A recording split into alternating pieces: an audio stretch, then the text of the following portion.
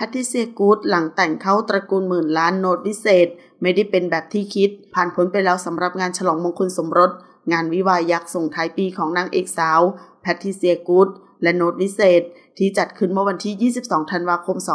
2565 ณ โรงแรม โดยเจ้าสาวสวยหรูดูแพงมาก ในชุดเจ้าสาวสองลุกสองสไตล์ จากแบรนด์ดังระดับโลก ไม่ว่าจะเป็นชุดเกาะอกสีขาว หรือชุดที่เดินเข้างาน แอบเซ็กซี่ แต่ออร่าจับสุดๆ ด้านเจ้าบ่าวหล่อเนียบในชุดสูทแบบสมาร์ทสุดๆ บรรยากาศภายในงานถูกเนรมิตให้เป็นเหมือนสวนดอกไม้สไตล์อังกฤษตามทีมงาน เรียกว่าหันไปทางไหนก็เจอแต่ดอกไม้แสนสวย ที่อบอวลไปด้วยความสุขของเจ้าบ่าวสาว ส่วนแขกผู้มีเกียรติภายในงานนอกจากจะมีครอบครัวของทั้งสองฝ่าย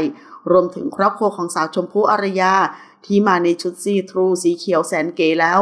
ยังหนาตาไปด้วยแวดวงไฮโซและคนบันเทิง